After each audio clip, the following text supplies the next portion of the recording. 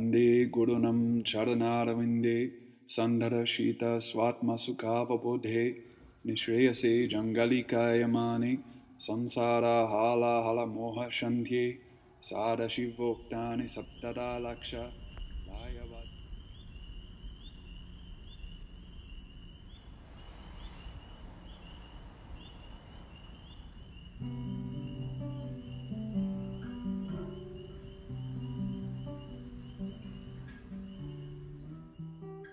I was raised around music.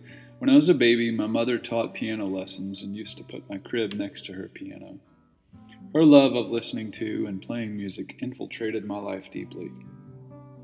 As a child, I sang in the church choir, and at 18, after playing classical guitar for a few years, I began my journey as a music major with an emphasis in classical guitar and voice. My real love, though, was writing and playing songs with friends. Perhaps it's best not to say too much about it, but there were definitely moments while playing and singing in different bands, or in the crescendo of chorale when I experienced a deep inner bliss. Then and now I wonder do these moments have to pass? The more I practiced Ashtanga Vinyasa Yoga, the more I discover that sound and music are an important part of the practice too, and can be an especially sweet type of pranayama or life force alignment.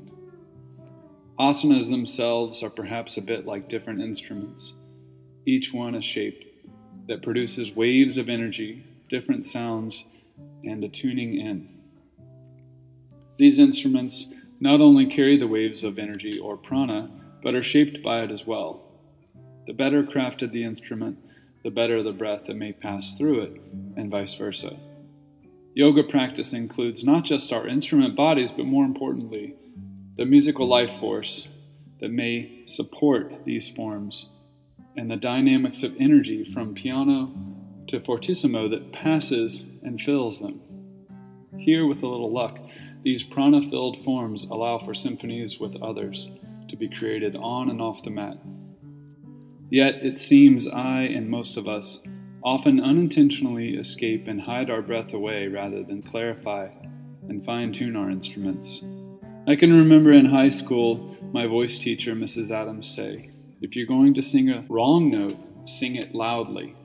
Just like when we're on the mat, Miss Adams required a presence of mind and authenticity that is obscured when we are afraid of being seen or heard as the one struggling.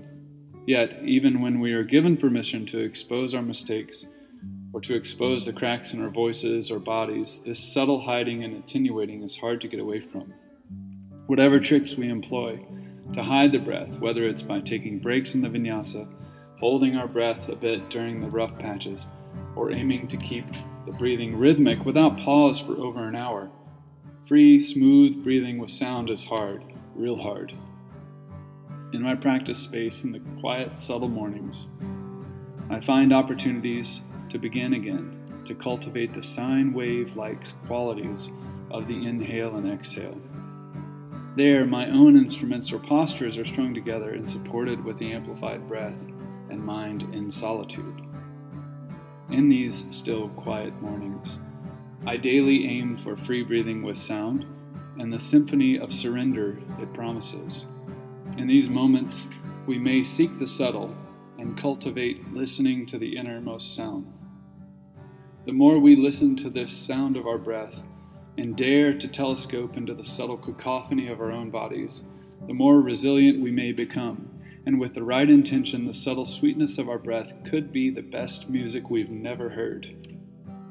So, pull up a mat, sit on the edge of your seat, and listen close.